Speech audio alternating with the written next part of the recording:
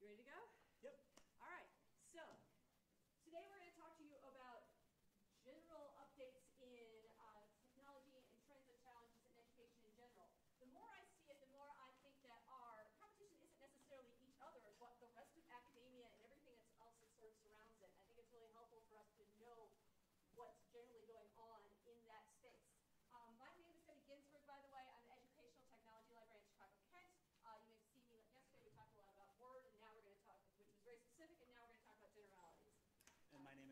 Berrio Matamoros.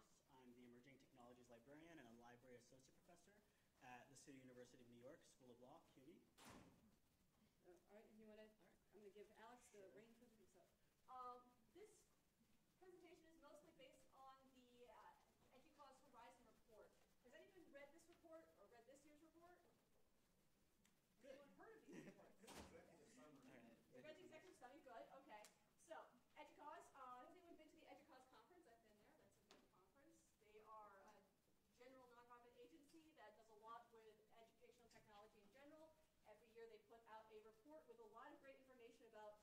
What is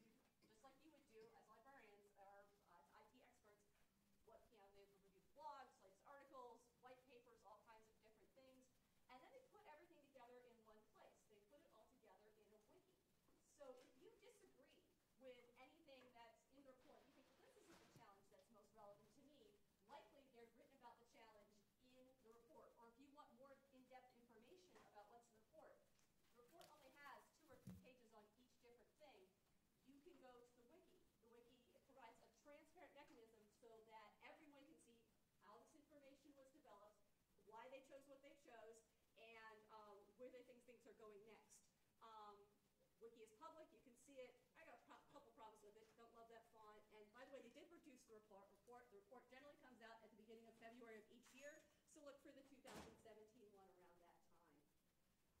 Um, so, here's a great infographic. Alex, you want to talk a little bit about that? All right, so we're going to cover the six trends that they've laid out. Um, these trends are broken into short-term impact Ooh, trends. thank you. trends- Nice. Uh, trends for the next year to two years um, that are helping to accelerate technology adoption in higher education. Then the mid-range, midterm trends that are for the, for like three to five years in accelerating technology adoption in higher ed. And then the longer-term trends are five or more years, uh, things that are on educators' minds now, and they expect to be on educators' minds for a long time coming forward. Uh, then we'll be going into six challenges, two solvable challenges, those that we can that we understand now and we can find solutions for now. Difficult challenges that we understand but are being hard pressed to find solutions. Those solutions are elusive. And then two wicked challenges, and these certainly are very wicked challenges. As someone who spent 14 years in Boston, I love that they chose that as a name for these these tough challenges. Um, and those are ones that are hard to find, uh, let alone actually come up with solutions for.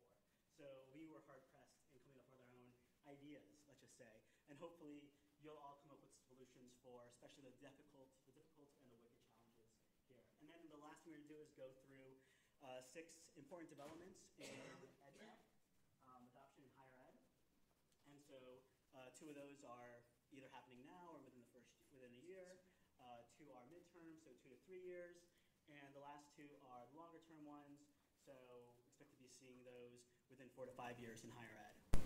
And these aren't necessarily law school; these are higher ed throughout. So we'll be talking about how these are applicable in legal ed. All right. Oh, now I have a fancy mic. All right, and hopefully they've got that working now. Um, always challenges getting AV to work, but that's universal, and that's, I know they're working really hard. So it's a wicked challenge. Can you advance the slide?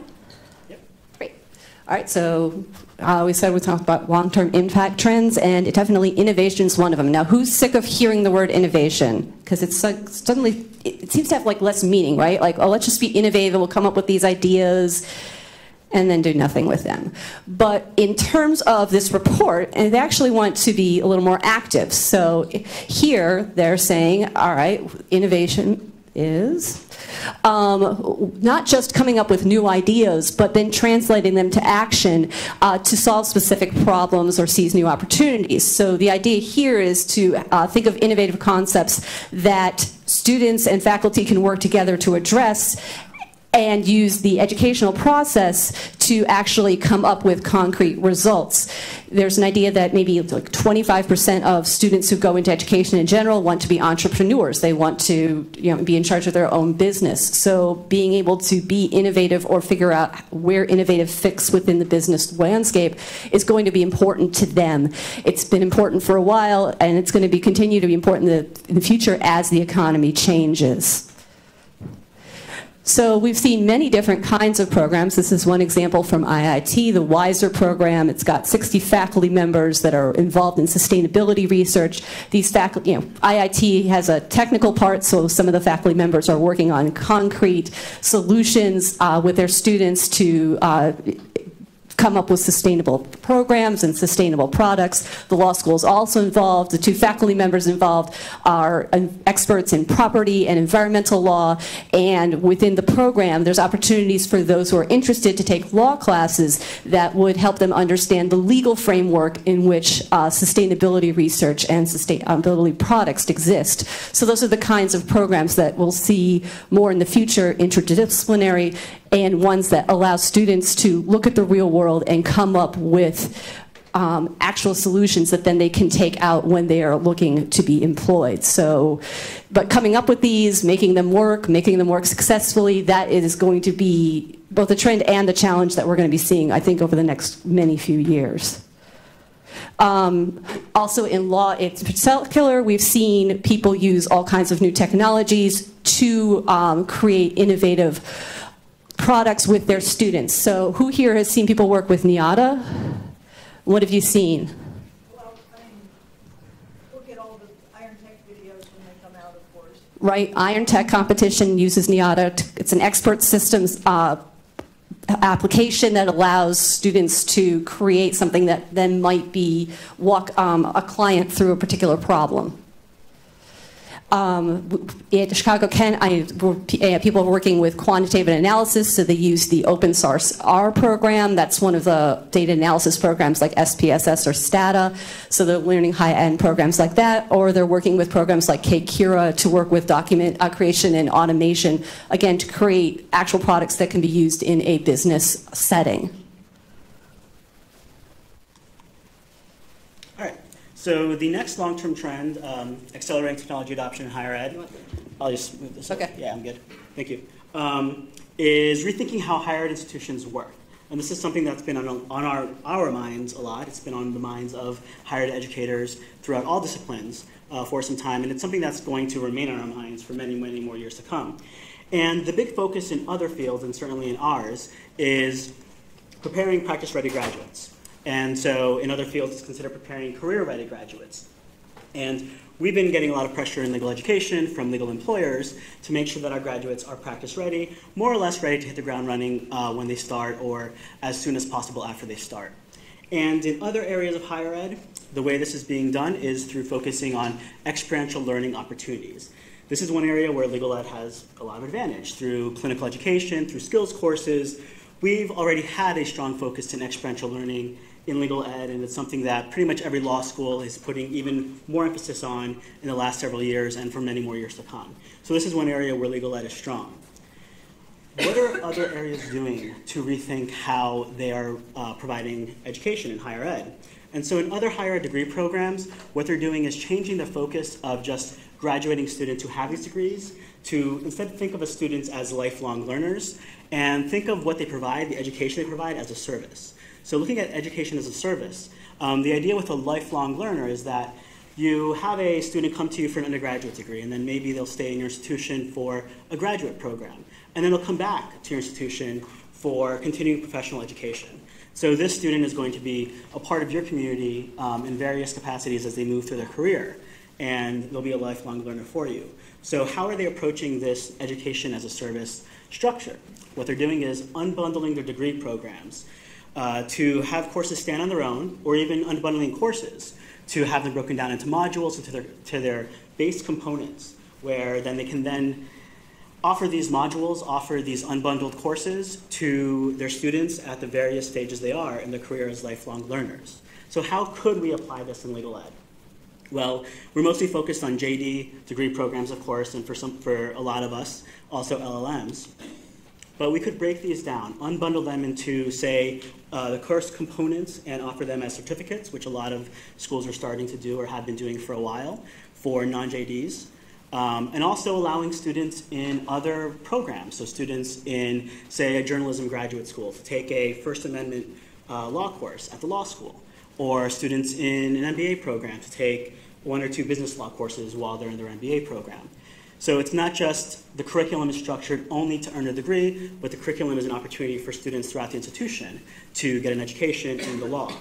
And the other thing is, if legal ed courses are modularized, where they're broken down into their components, then these modules can be offered slash sold uh, to graduates for continuing legal education. So if there's a graduate whose uh, practice areas practice is expanding and they may need to learn a new area of the law, uh, they're not going to be able to go and take a single course necessarily, especially if that's during the workday. Um, but they may be able to do the module online for continuing legal education to learn that area of the law. And so now we're going to move into mid midterm impact trends. Um, those again in the three or four year range. All right, so what's coming next? Um, redesigning learning spaces is, of course, something that a lot of us have been thinking about. And we're used to having classrooms that look kind of like this, where someone stands and talks to everybody, and there's not a lot of flexibility in the space itself. But as we are reconsidering different ways of providing learning to our students, not just in um, legal education, but all kinds of education, we're starting to see differences in how classrooms are designed. So some classrooms will have this look, and some classrooms will have a look a little bit more like this. So this is from Wake Forest. It's from one of their CS classrooms. They have modular tables. You can see they can be moved around. They have power everywhere, whiteboards everywhere. And the idea is you could set it up so that someone's standing at the top of the room talking, or people are in different uh, spaces doing discussions, and then maybe they'll come back together. It's a flexible room. It can handle a lot without a lot of um, it doesn't look like this kind of room needed a lot of, of infrastructure. It looked like it could handle um, uh, everything fairly easily. There's not, you know, so many uh, different boards that people are running into cords or running into each other. And I've seen rooms here that it looks like they could be taken apart and put together in different ways. Chris, on your tour, you mentioned that you have those, even like those little portable whiteboards are ways that um, people can rearrange their space as needed. Uh, Jesse and Stefan at Northwestern, you have a classroom that has a space at the front of the room where people can speak, and then uh, people can go to the breakout tables, and either you can push the uh, information on the main screen to those individual tables, or people can see what they need to on those spaces. So we are seeing law schools head towards, uh, when they can, of breaking away from a traditional room where people are at the front talking to the people at the back to rooms that offer and spaces that offer a lot more flexibility, uh, particularly in the library. Um, even at IIT, our main campus library is a giant flexible room. Students like take bean bags and move them everywhere and whiteboards and move them everywhere. They love it. So we are getting away from the chairs and into place where the design is what we want it to be. And so the next midterm trend is a shift to uh, deeper learning approaches. And in other areas of higher ed, there's been a renewed focus on critical thinking, on problem solving, and on collaboration. Uh, this is one development, one trend, where again, legal ed is at an advantage because critical thinking, problem solving, and collaboration have been components of legal ed for quite some time now. But there's more that can be done. Um, problem-based learning can move outside of clinical education, can move outside of uh, skills courses, and move into doctrinal courses, move into all aspects of the curriculum, where um, not only are we doing things like developing client counseling skills in a clinic or in a legal skills course, but things like contract drafting can be included as a module within a contracts course, and some schools are doing this, or um, or uh, memo, sorry, uh, motion drafting can be included in a civil procedure or criminal procedure course as a component where students can apply what they're learning as they're learning it to actually have a practical application and understand not just the doctrinal matter, but where it fits into their roles as a future practicing attorney. And now moving on to the short-term impact trends. Yeah, this is stuff we have to deal with right now. And it won't surprise you that one of them is learning analytics. I'm going to talk about learning analytics in general. Alex, you will talk about some specific tools later. And I know you guys recently had, uh, the last session actually talks about additional tools, but it's not something we can talk about enough. Um, we, you know, in legal ed, we're not used to thinking about this level of analysis, but not just the ABA has come up with the recent uh, changes in their rules, but the, those of a credit are home institutions, those of us who have them, we also have to be um, within the bounds of what they're asking for as well. Now, people are still doing more, or universities are still doing more institutional analytics than learning analytics, but learning analytics is catching up because it's becoming so important. But there are many, many questions that people have about learning analytics that not just law, everyone is struggling with. What do we analyze? What's going to get a result? Um, how do we do this analysis? We saw many different tools in the last session uh, that Will was moderating, and some of those tools provided feedbacks to the students, and some of them provided feedback to the faculty. Who needs to do that analysis is a good question. Student privacy is of paramount concern, and uh, some of these analytic tools sometimes provide too much information to, say, the vendors, and a lot of universities are very concerned with this. And the feedback still has to be useful to the faculty and to the students. So the report talks about continuous feedback to the students, but I can see something like that making our law students very nervous. They want more feedback than they get now, but I don't know how they would take continuous feedback. So something that we'll want to consider over time. Um, we also have a culture where tests are done a particular way and have been done a particular way since the beginning of time, or at least the beginning of Langdellian education. Sometimes we'll see some multiple choice questions, but generally it is a test that's graded on a curve. And we are seeing more faculty make use of things like midterms or um, polling or other kinds of assessments throughout the class.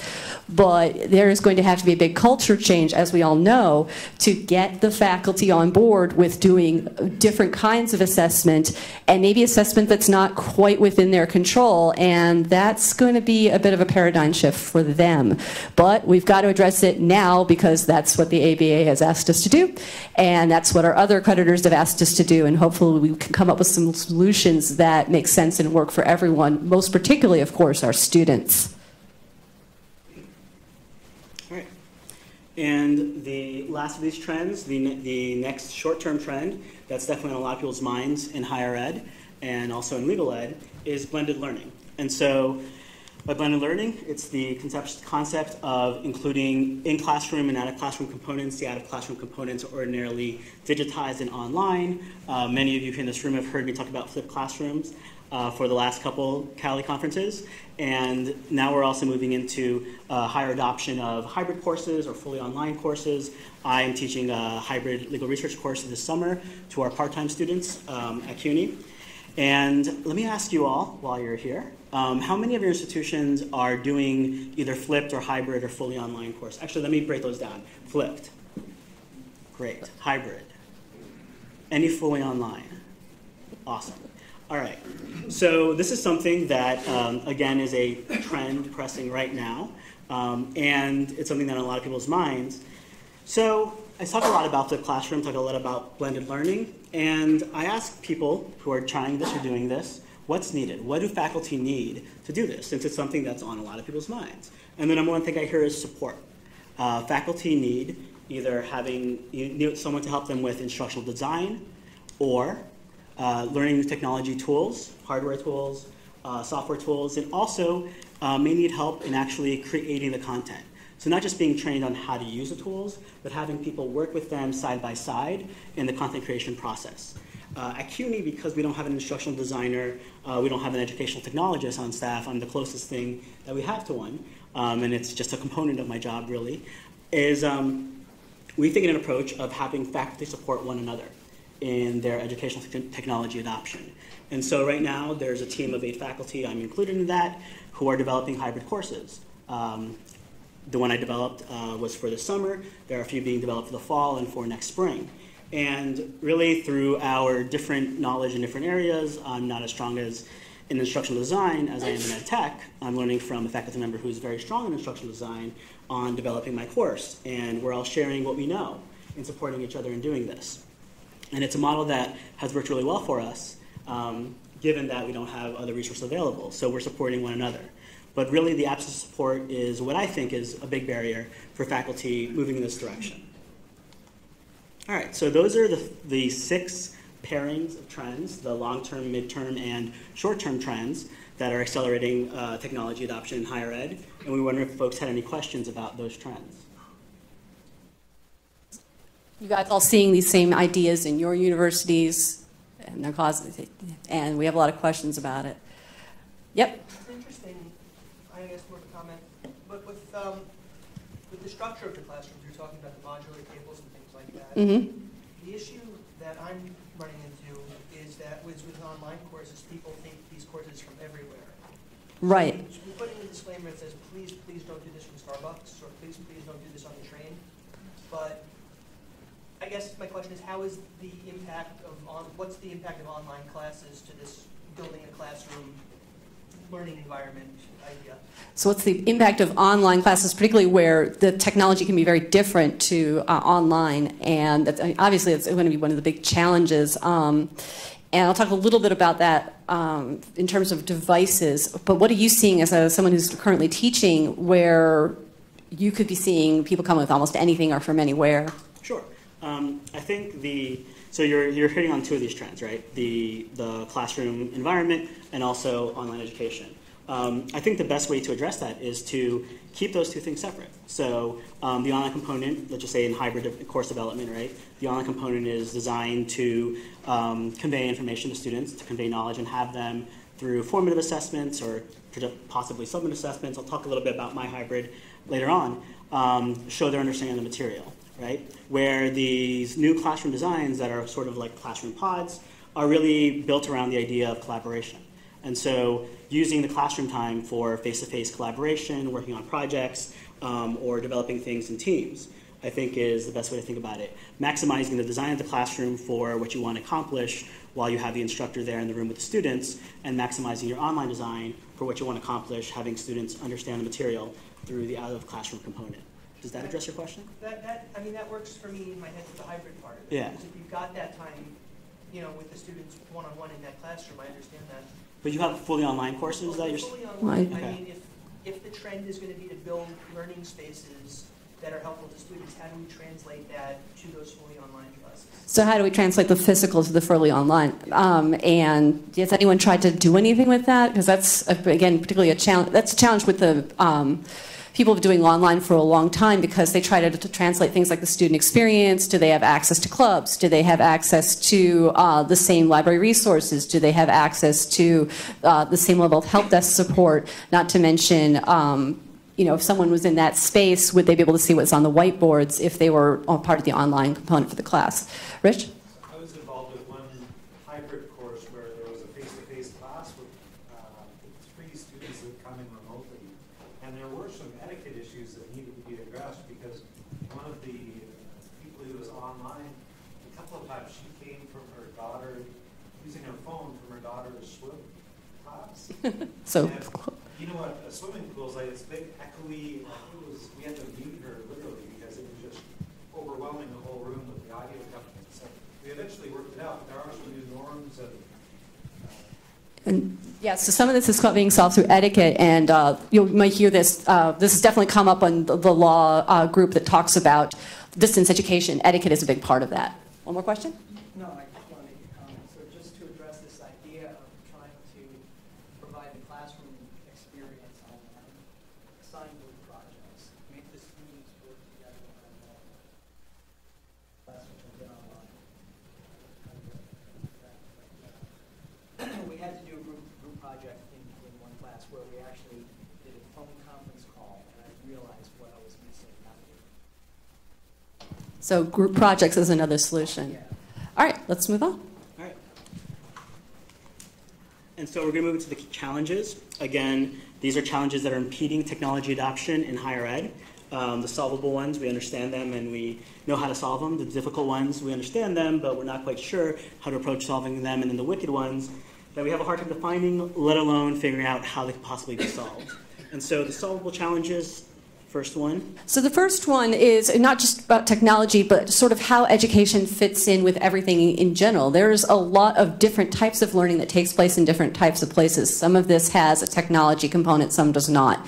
One of the things uh, that's addressed both in the report, and I, I believe the um, the uh, keynote speaker just today, Ms. Millsway, talked about, but he, I believe, mentioned that there is a lot of learning that takes place outside of academia, let's say in people's work. So if you've got someone who is a non-traditional student, they've come in, they're not going to think of themselves as a novice. They're going to already have a lot of experience. For example, in my last presentation, I mentioned that one of the people in the legal writing class I was working with was a 19 uh, vet- veteran 19-year paralegal. So what's he going to know about legal research that we're going to teach him. He's already knows all this stuff, but yet he's in the same kind of class. So how do we address that kind of uh, experience that people get in such a way that makes sense, is fair, and is can be quantified? And that's going to be one challenge as we get different kinds of workers coming in and out of academia, both in law schools and in other aspects.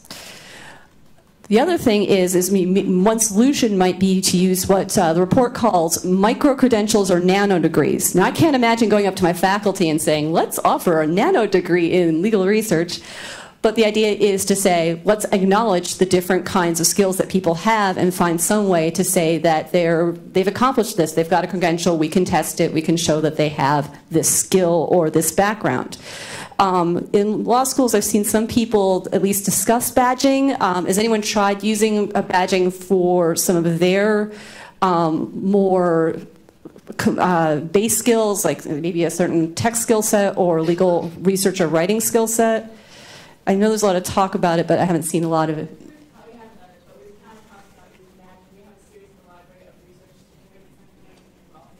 Uh, So lot, I've seen this particularly in the library space. A lot of librarians have considered badging to say, okay, you know, you've got a certificate that says you've completed this set of modules, but some libraries have even said, you know, we've got a badge. You've got a badge in legislative history, and you've got a badge in, you know, regulatory research.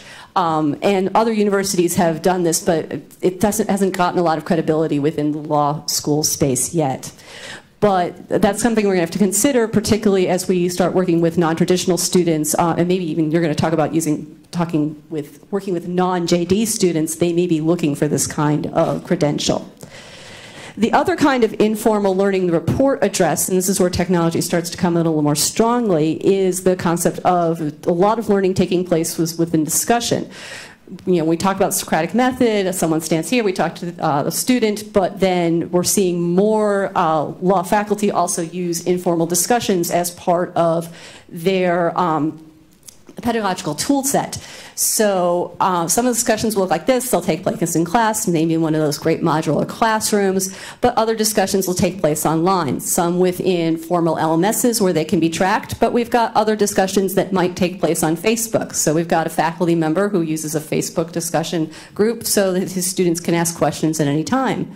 Uh, Rich, you also brought up in your uh, session uh, an example of not in law school, but in a different educational setting where students felt they weren't getting the education they needed from the faculty member in charge. So they started meeting informally, uh, and I believe they used face to face and online um, tools to do this in order to get the information they needed to succeed in the class. So it's not just where things are being uh, assigned by a faculty member and discussions taking place, but sometimes it's students working with themselves, or even law school. What we know, some of the oldest ways that we've learned, are our group study uh, group, our study groups that we work to prepare outlines. Lots of informal learning taking place there. Not really a great way to capture it. Not really a great way to assess it. So um, that's going to be one of those challenges going forward.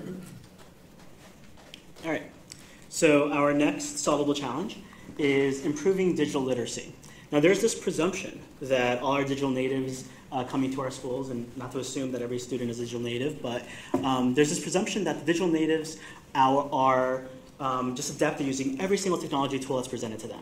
And that is a false presumption. It is without a doubt a myth. So, of course, students are comfortable with using the tools that they use every day, whatever apps are on their um, smartphones, that kind of thing. But when they're introduced to a new learning management system, when they're introduced to a new, say, video annotation system that they may have to use in a clinic, or when they're introduced to law practice technologies, um, they, need, they may need as much training to get uh, a strong foundation in how to use these tools as anyone else who's not a digital native would need. And so we have to break this idea of assuming that our students as digital natives can just use these things, pick them up right away. Um, and also help them develop the digital literacy skills they need to be able to use the kind of tools they'll need for practice. So how can we address this in law school? Well, the first thing as a librarian I'll say is that us librarians have been thinking a lot about digital information literacy and make a point of uh, training our students to learn how to not only find information and use information, but how to evaluate the information that they find. To stop and take the time to think, all right, so I found this piece of information through a Google search. How valuable is this to my research? Um, can I trust this information? Should I find other sources of information? So training students to stop and think about that in their process of using information is really important. And um, I'm sure all the librarians in the room who teach are doing that right now. Another thing we can do is include law practice technologies throughout the entire curriculum because saving them for just, say, clinical education, they're in the third year, um, we should take the opportunity to have our students from the very beginning of um, law school use these law practice technologies in, say, their writing course. So there's no reason why a practice management system, a case management system, can't be used in a legal writing course. And I know that some folks are using Clio in the legal writing course, which is fantastic. Um, and there are other uses for these tools throughout the curriculum.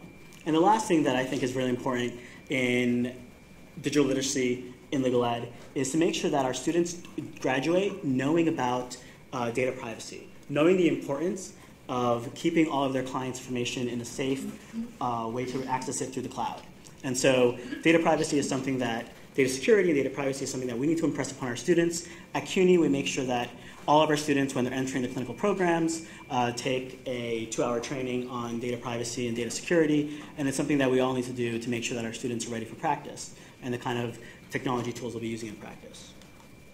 All right, so next, the difficult challenges. We get this, but what are we going to do with them?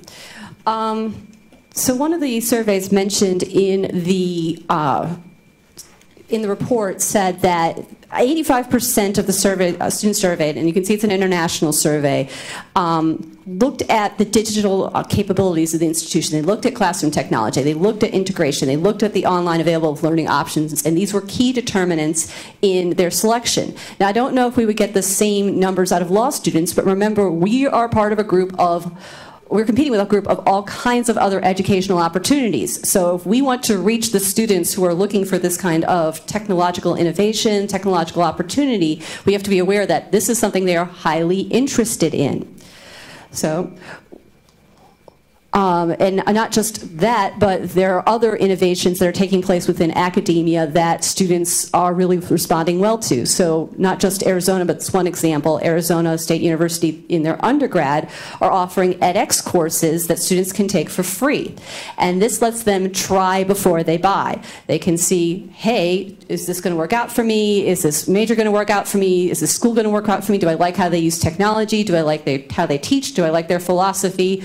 They get to try it on their own time. They don't have to worry about paying for it. Once they're done, they can transfer credits if they decide to enroll. So this is something that, again, it's available to it, uh, different other kinds of education that's available to the market we want to reach.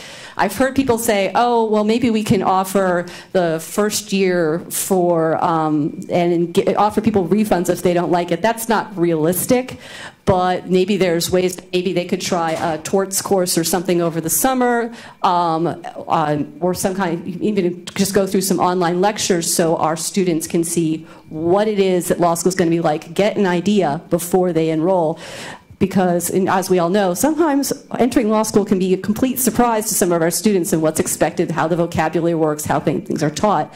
And if they can have that information before they join us or as they're considering where to apply, I think it would attract more law students in general to the field.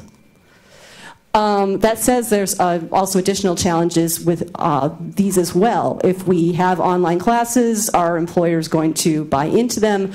or if we offer a, some alternative ways that uh, our students can participate, uh, will they be accepted by accreditors? So, you know, are, are, these online degrees and certificates, are they going to be enough? And the report puts this under this area of the cha of challenges as well, because not only do we have to convince our students that we are going to provide excellent education, excellent opportunities for them, we have to convince the employers that what we are providing these students are going to be useful for the kinds of employees that they want to have in their institutions, in their offices, and in their companies.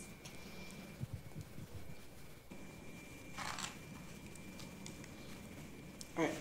And so for our next difficult challenge, we move into the area of personalizing learning, which is something that um, is on the minds of a lot of educators in other areas of higher ed and probably not on the mind of so many legal educators, but could be in time. Um, and the idea with personalized learning is that the focus is on making sure that students um, achieve competency in whatever areas that they need in order to earn the degree, in order to complete whatever um, the requirements are, the learning outcomes are for that program. And the way they achieve competency instead of just taking courses in a traditional semester structure is to have the students work at their own pace, to have the students set their own pace in how they approach the information, how they absorb the information, how they show their own understanding of the information through formative assessments, um, and then how they show their mastery of the information to the instructor through summative assessments. And so this is a very controversial idea um, in higher ed. I'm sure if uh, I tried to advocate for it, which I'm not saying I am doing, advocating for it. Um, in legal ed, it'd be pretty controversial because it totally changes the way that education is structured. It's not about the student being in the classroom and moving at the same pace as everyone else, but rather the focus is on making sure the student understands before moving forward. And that's one flaw of a semester system or a traditional education system, is that everyone moves at the same pace, everyone's required to move at the same pace, whether they're actually understanding the material or not while they're moving. So how is this actually accomplished?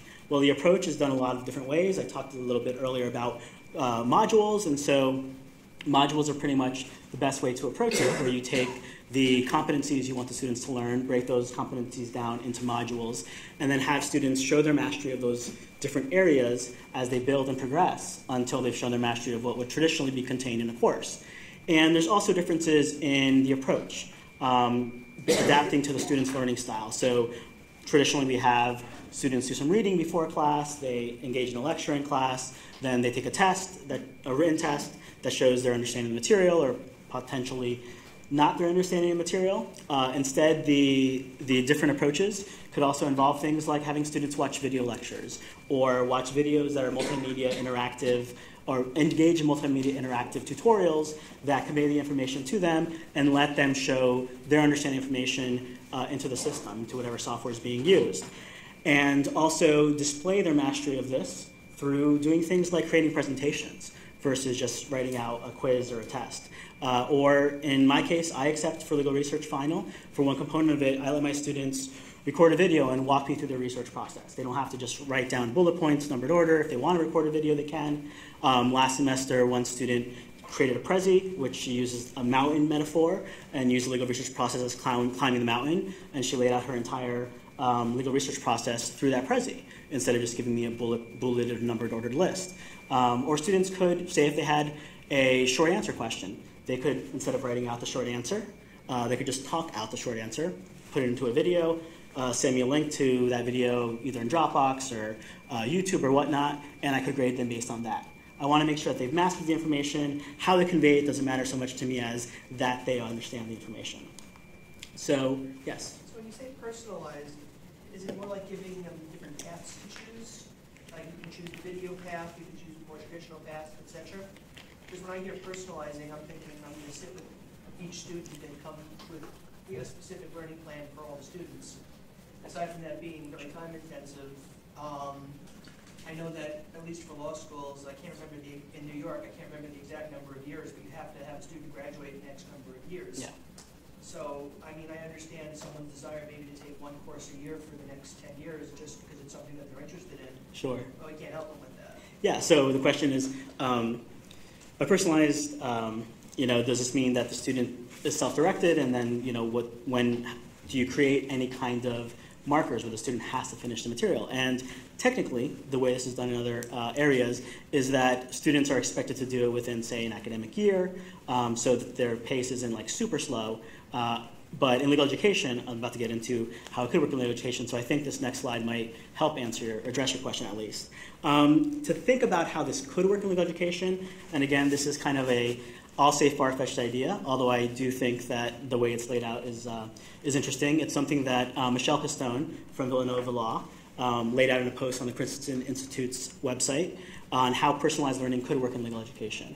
And so again, competency is what you're working towards and identifying very concrete learning outcomes and making sure that students have those clear learning outcomes and work through those um, and demonstrate mastery through assessments. So getting to your point about um, is, the is the instructor sitting with the student and walking through the student one by one, there'd be technology tools that would help the student understand the information, receive the information, convey their understanding information, and the instructor would receive um, the data set, you know, receive how the student did, get some feedback as the student's working through the series of modules so that it, it isn't only until the very end where the instructor has feedback on how the student's doing. Um, so those formative assessments would be very critical, not just your traditional 100% final uh, summative assessment.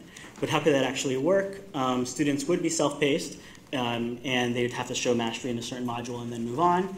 And technology is really is really important here, but the feedback is also very important. So it would take an entirely reconcept- entire reconceptualization of how we teach in legal ed to actually make this work. Rich, I sorry I missed your session, but I, I'm sure you folks addressed this in some way. What you were talking about just reminded me of something, and this wasn't in legal setting, but it potentially could be used for an assignment, the instructor put together a rubric saying, if you want to get an A, this is what you need to do. If you're happy with a B, this, if you just want to slide by this and do this. So you give some choice to the student if they really want to do well. You know, here's the standard you've got to meet. If you just want to keep your B mark or whatever, then do this. Yeah, and rubrics are a great approach because my students actually, um, in this part-time class, because a lot of them uh, do work full time. Our parents um, are expect are used to seeing their students, their children, receive rubrics from their children's teachers. Uh, have been asking me for rubrics, and I've been trying to develop rubrics whenever I can. Uh, I've been trying to get an approach to developing rubrics without giving away exactly what I want them to show in their mastery. So it's kind of tough. Um, but I think rubrics would be a good way for students to know what is it the instructor is looking for, what is going to get them an A versus a B versus just to coast through. Yeah, you have a comment? I love that idea, but the problem is, I know in our school, um, we're only allowed, each course is only allowed to give a certain number of A's. So if you do any work, you're not getting it. May the curve ever be in your favor. So he's pointing out that in each course, they're only allowed to give a certain number of A's. But yeah, thanks for contributing that. All right, so now we move into, oh, sorry, is there another hand down there? Sorry. Only that we have a similar situation where I am, but uh, you can work around that. I mean, courses are exempt from the curve requirement if group work is involved, which is also a good thing. And so you can work to change that structure within your school, which is really helpful as you're moving forward to try other approaches. So in your school, if there's group work, then the curve doesn't, The curve is advisory. it- oh, okay, so the curve's only advisory, so that's a big change for a law school. Yeah, but these policy changes um, are the kinds of things that are needed in order to move in these directions of adopting these different approaches. All right, onto the wicked. Yeah, onto the wicked. All right, and so the first wicked challenge is a wicked challenge that we all face in our daily lives. It's balancing our connected and our unconnected lives. Um, I'm sure that all of you would probably want to be a little less connected than you are right now, not having a mobile device in your pocket that 24 hours a day can get you online. Um, I see one person back there is like cheering the fact that she is not connected at the moment. Some of you are multiple connected right now. Um, and finding that balance is something that's important not only in our own personal lives, but in education right? Um, we are, those of us who are educational technology enthusiasts often say there is no value in adopting technology for technology's sake. And we make sure that we convey that to instructors when they're doing that um, because it's important to not overwhelm students, let alone overwhelm faculty or staff with all these technology tools that really, hard, really aren't having a transformational um, impact on how students are learning. And so this SAMR model for educational technology adoption is one good thing to keep in mind in trying to find that balance. To try and stay away from the top of the model, the S, the substitution, try and uh, stay away from just technology tools that are substituting something that's already been done for a long period of time, like replacing a text, with, replacing a casebook with an e-casebook. Um, it's really the same exact thing, uh, not really all that big of a change, but really instead focus on the redefinition. So introducing um, new projects, new tasks, new ideas in the classroom that were previously inconceivable because the technology wasn't there to allow that to happen. So I have an example of that. And in CUNY's 1L lawyering seminar class, which is a mix of legal writing and also lawyering skills, uh, students have to do a uh, client interview and client counseling exercise. And this is something that used to be video recorded and the instructor would provide feedback to the students after reviewing the videos. What's being done now is that it's being video recorded. The instructor's providing feedback through a video annotation sys- software called VOCAT that was developed at a different CUNY campus. And it's also being, um, feedback is also being given by peers. So everyone in the class is watching everyone else's client interview video once they're all done and providing feedback to their peers, which is great because they're not only getting one set of feedback, they're getting potentially 18 pieces of feedback from their peers as well. Um, this is something that could not have happened before VOCAT as a technology tool because to get all the students in the room at the same time to watch all of these client interviews happen at the same time or having them check out all these different videotapes or whatnot would be a real hassle, let alone providing the feedback. Where we have a tool now that in one single place people can log on and watch two of these. They get tired of watching their, their classmates do client interviews, so they log off and do something else, and then come back and do another couple, and log off and do something else, and they eventually will provide feedback for everyone in the classroom, which is really great. So that's an educational technology tool that's really having a transformational um, use in the classroom. What is that called? It's called VOCAT, and so there's other video annotation systems. Debbie was that Panopto does video does- annotation. Yeah, Panopto offers video annotation, um, and uh, was it, CALI had a project, Media Notes, um, which was uh, Oh, yeah. Windows software-based versus a browser-based software uh, application. But VOCAT's browser-based, and I'm guessing Panopto, what they offer, is also browser-based. It is. Yeah. Quick question, how, how do you find the quality of the feedback that students get? So the students are being, um, in the classroom, they're being told how to give feedback. Uh, so, which is also really great because it's, it's an additional um, practice skill that they weren't being taught before. Because giving feedback to one's peers is an important part of practice. And so learning that as one else is something that they weren't taught before because they never had to give feedback to their peers. So it's one thing that's being incorporated right now as well. Yeah. Just gonna say, if you're interested in a framework for feedback, Mhm. video, forperformance, uh, there's a professor who's presented many times in the past, Larry Farmer. So if you look at those sessions, Yeah. he's got beautiful frameworks for getting feedback to students during client interviews. So find Larry Farmer's CALI videos, and that will give us a good framework for feedback. Uh, There are people who are listening through Panopto, I see them tweeting, so, Yes. hello. Great. And I stripped that. All right. All right, so yeah, this is the future of education, and we're just going to have everyone passively sit there and um, apparently crank books into their heads. Uh, I, I love this image, but there's still the idea of technology is somehow just going to make education completely relevant. Um, it's just going to get poured in, but of course, as we move towards more active learning, this is not quite where it's going. That said, we are seeing uh, this idea of well, in a world of technology, how do we keep education relevant? Um, there's a lot that we are competing against. I've mentioned some of the different uh, tools and ideas that are being tried by other undergraduate and other master's degree programs, but there's even additional competition out there. We've talked about MOOCs, we're saying, oh, they're not relevant, but they still exist, and there's still places like Coursera where if I want to get certain credentials, I can pay them a few hundred versus a few thousand dollars and get those credentials. I think Deb Quintel was talking to me about, like, for maybe $500, I can get credentials in project management. I've got similar credentials from Northwestern, and they were much more expensive than that. So um, that is one of the things we're competing against when we are uh, trying to figure out how to keep education, particularly legal education, relevant.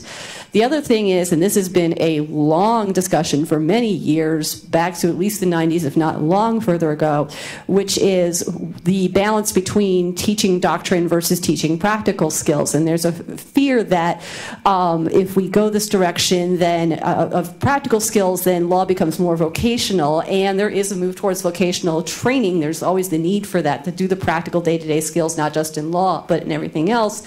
But there's also stigma attached to that, and people won't. Uh, they're worried that, that people won't come to educational institutions to get that training.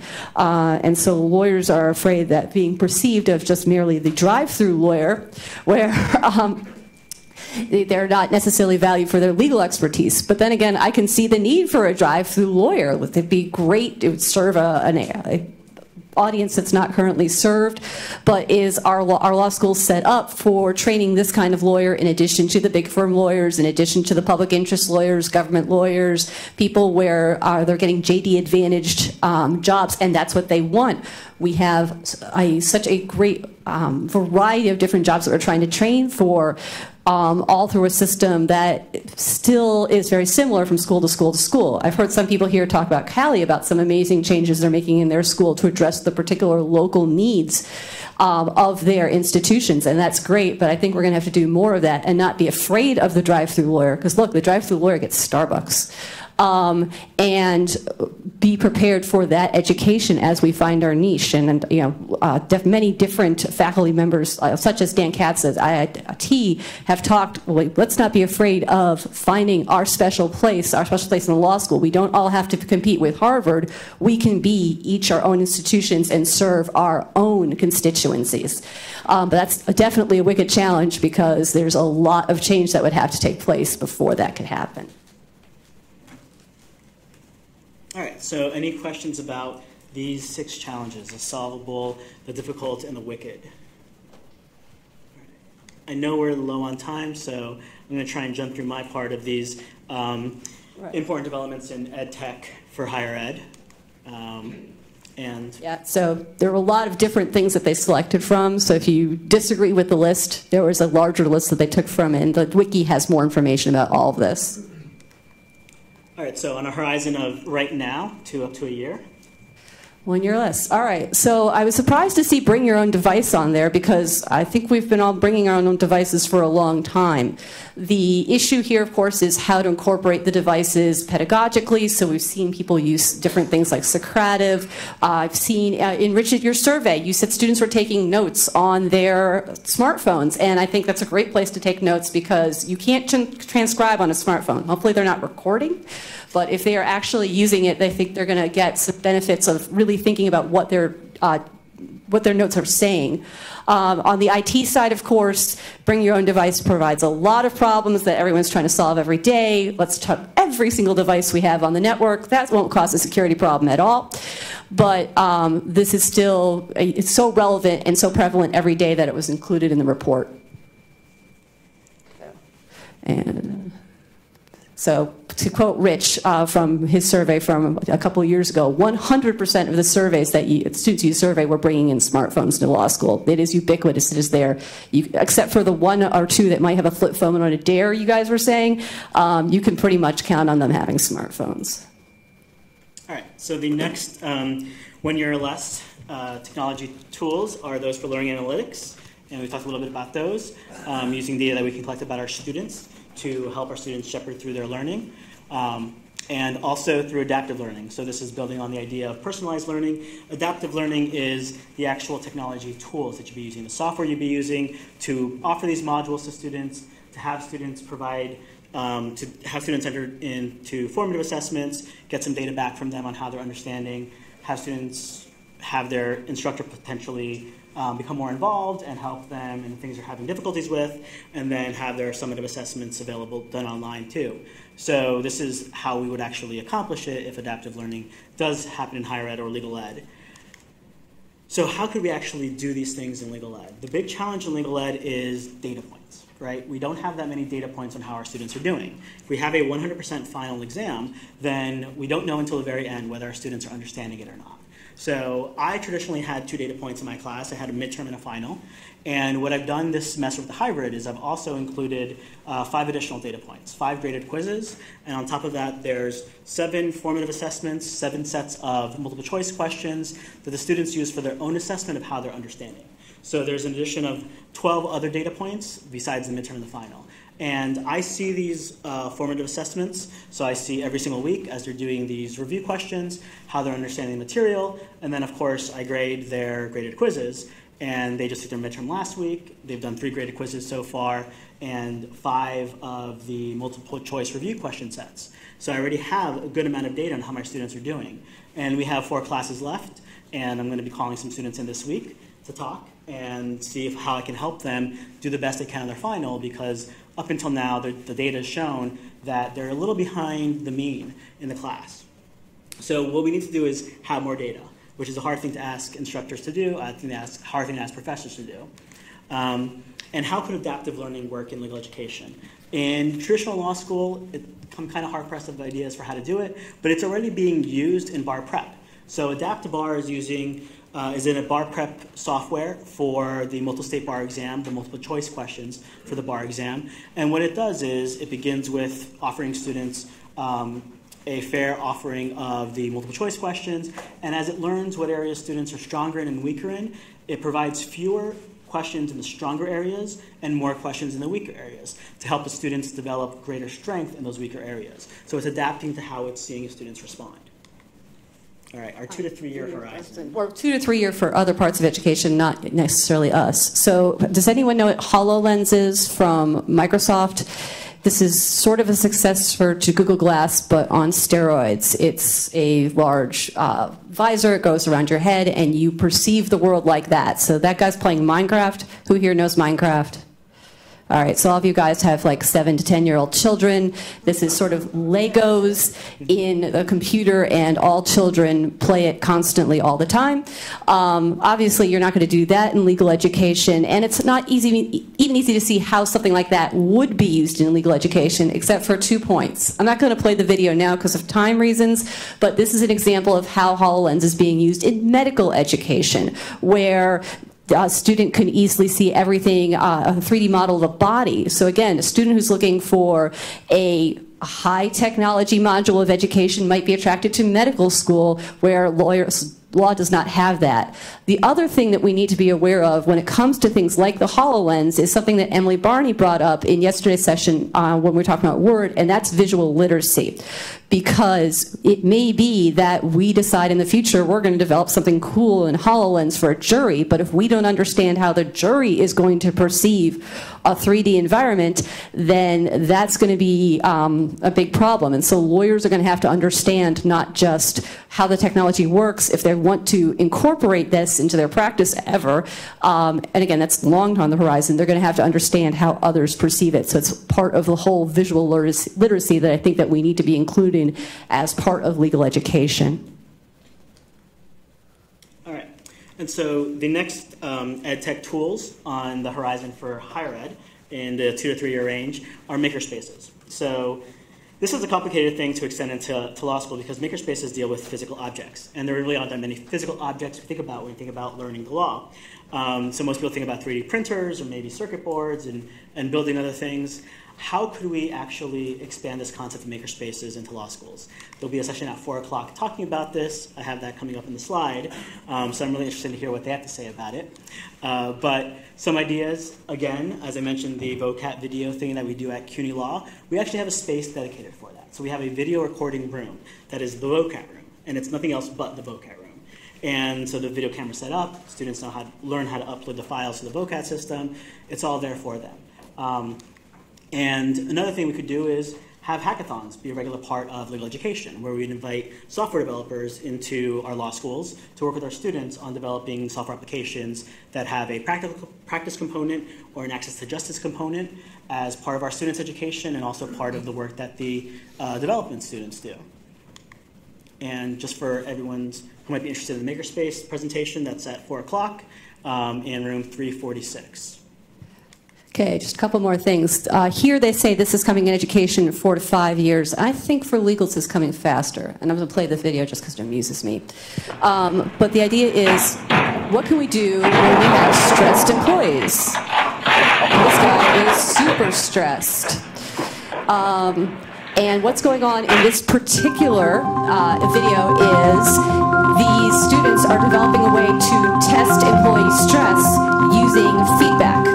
So we're saying stress is a problem. People get really stressed all the time. 50% of workers thrive on moments of stress. And they're using, these little devices on their sensors on their hands to measure, I don't want to go bathroom again.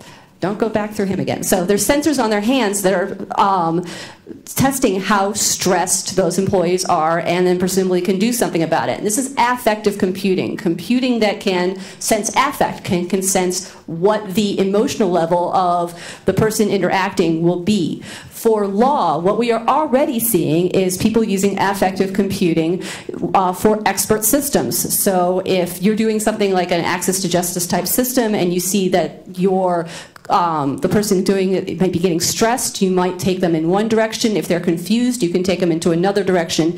This is being added to these kinds of expert systems, and there's some plans to do it already. Um, but there's also a kind of creepy factor about that, which uh, we should be aware of in law schools, and that's when it comes to distance learning, because people are starting to come up with ways to add affective computing tools to distance learning. What's one of the problems with distance learning? You want to make sure people are paying attention. So they have tools that um, can see what your heart rate is and make sure you're paying attention that way, or if your gaze is looking at the computer. I find that a little bit big brotherish, but it is part of affective computing and it's coming in the future. So uh, I think that's going to be part of some of the different projects we're going to be working on over the next few years. All right, and so the last uh, four to five year outlook, technology is robotics. This is a hard thing to squeeze into law schools. It's definitely going to be something that's going to be very important in other fields in higher ed. Um, and couldn't imagine a robot law school. Um, it'd be a great t-shirt to walk around in, that's for sure. Um, but how could robotics be used in law schools? Real stretch idea. But we could borrow again from medical education and develop um, client robots, the way that patient robots are being used in medical education, that have real pulses, that have um, real responses to stimuli, and a client robot could have a fact pattern programmed into him or her and be able to answer, questions that the student is asking the client, um, give a variety of different